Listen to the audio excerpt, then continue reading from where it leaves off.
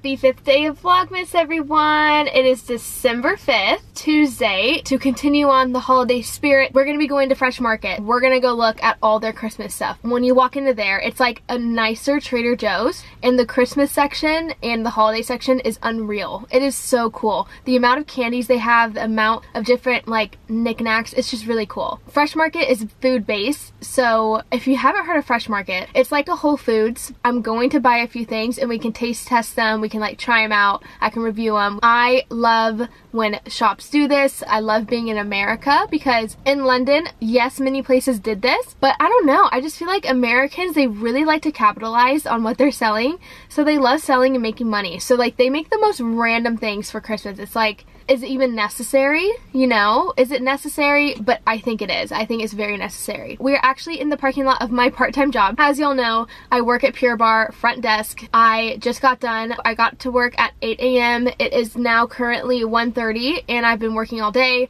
I got to take a class, your first class back in a while it's just hard, but you can work it back up, you know? I'm really excited to get back into the swing of things, get back to the body I like and want, and I just feel so strong when I do incorporate Pure Barre exercises within my week. Besides that, let's go.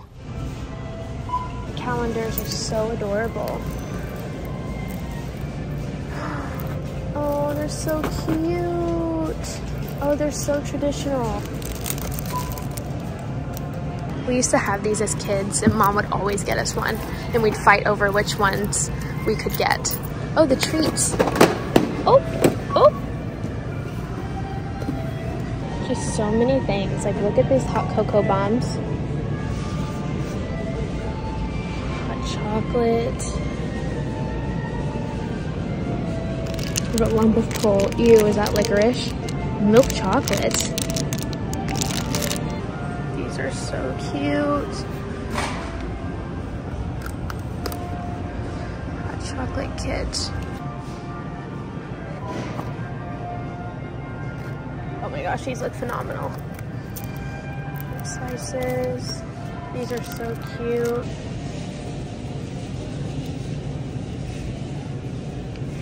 Elf on the Shelf toys. What's edible snow?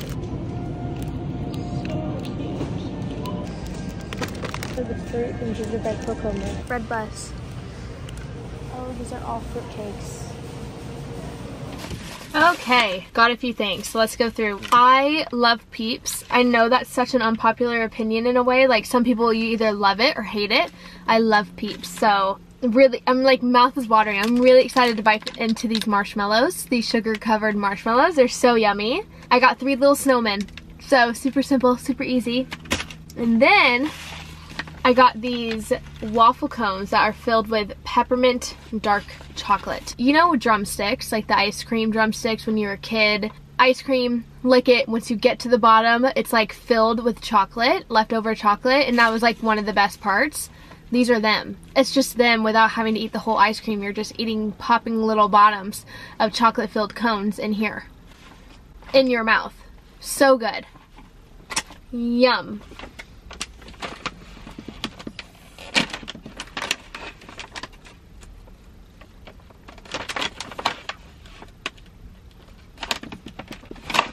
Ugh.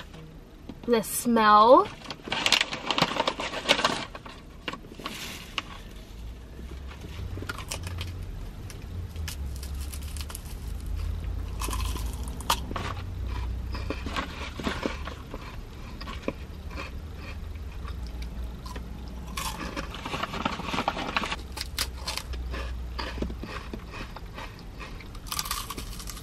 That was really good. This is for a future vlog. But I got a gingerbread making kit and we're gonna be doing that for another vlog. Comes with gingerbread mini village kit, no baking needed, makes four mini buildings. I love a cheap gingerbread kit. I mean, there's nothing better than like tasting cardboard when you buy into the gingerbread of the house, when you eat it at the end of the season or mid-season and you just secretly hide it from your mom seeing that you bit into it. Great, yummy, so fantastic. This is what being an American is. Eating cardboard tasting gingerbread houses that are like old and have been sitting out for so long throughout the whole season. Now, let's go into this local shop. There's a local shop in this area and let's go see what they have there.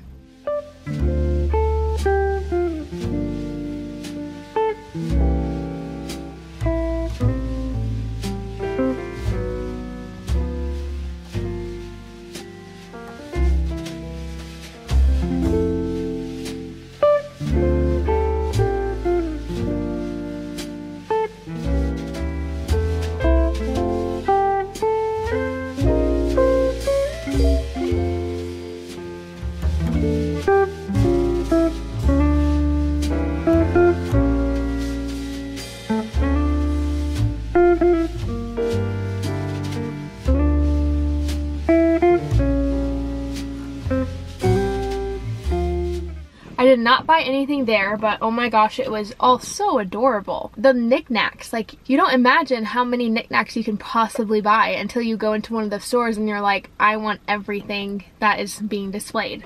I am so hungry, so let's go get some lunch and then let's go home. Yesterday when I got home, my mom and dad were with their two friends, Rick and Marcy, our two family friends, mom and dad. We have a really big couch in our living room, like really long, really big. They were watching a movie together and they had the fireplace on and the Christmas tree on and they had Elf on and it was just really magical. So I got to go home to that, so it was just perfect. Oh, I think my mom's calling me.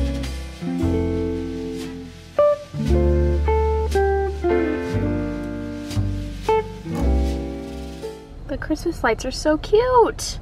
They're always so good at being festive and decorating everything. Hi. Hi, can I get a name for your order? Mobile orders Izzy. Would you like to make any changes? No, thank you. All right, you are good to go. Have a Thanks. lovely day. You too.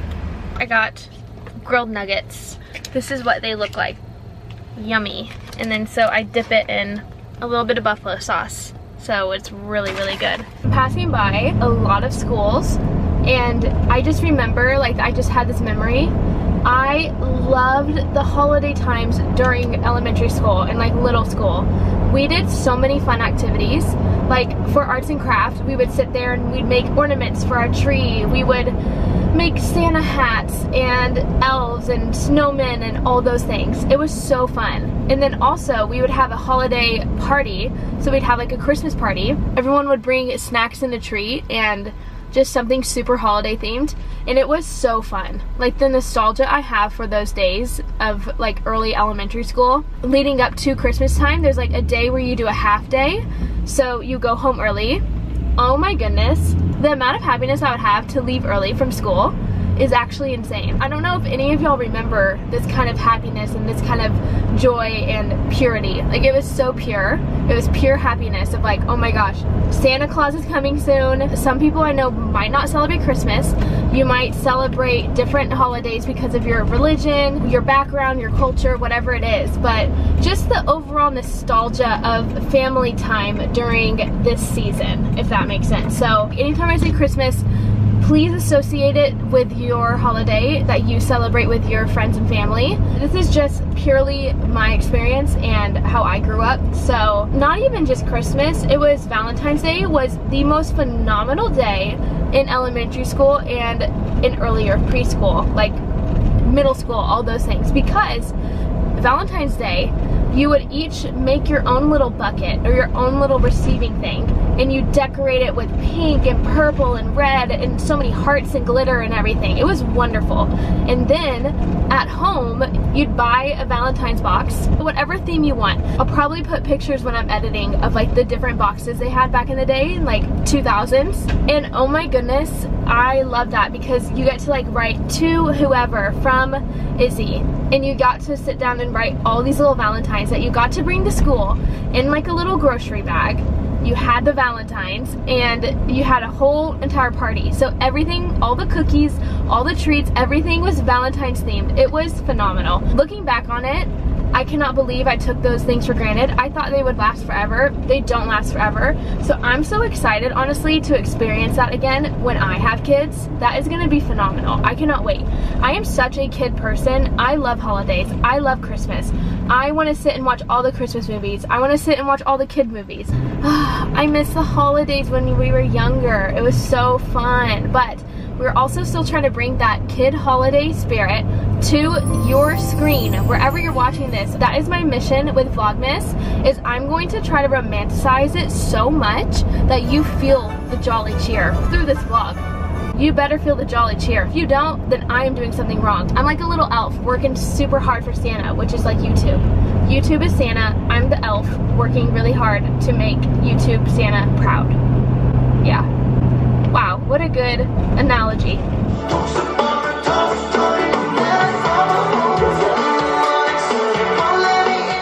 love coming home to my, stop! I hear you! Oh my gosh.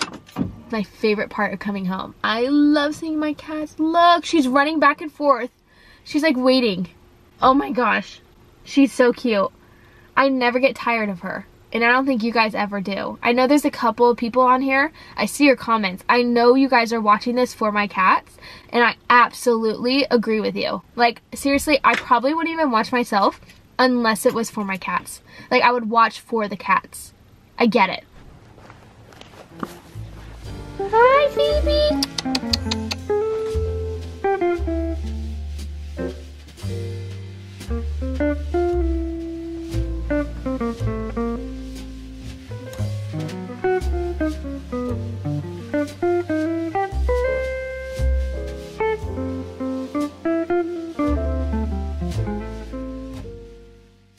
To give the people what they want. Phoebe. Phoebe, come here. She's just ignoring me right there. Phoebe, come here. Ruth, will you come here? Thank you, Wooty.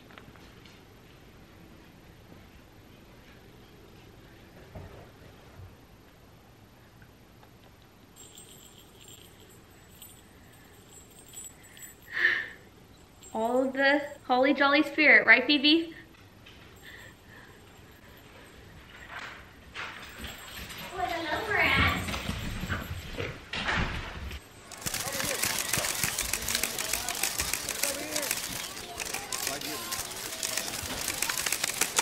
Just in, I got a text about a job interview, which is really exciting. But this is what happens. You get everything situated. So like you have everything, okay, I'm gonna be on this path. I'm gonna, you know, I'm gonna stay at Pure Barre. I'm gonna learn to be an instructor, like whatever it is, okay? You get on this idea, this set path. And then, and then life decides to throw a curveball and say, Hi, this is Ariana with Blank.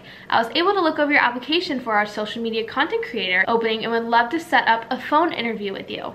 Please use the link below to set up a time that works best for you. And I'm like, oh my gosh, this is amazing. Like, this is great. Is my first interview of a real big time job. But now I'm like, oh, like I was just, I'm, I've been having so much fun. I got a schedule down and I got a routine down. I'm like, okay, this is gonna be a few months of this, you know? And then maybe possibly I'll find another job. But then it's like, do I wanna go to the corporate world? I need to wait for my dad and talk to my dad when he comes home.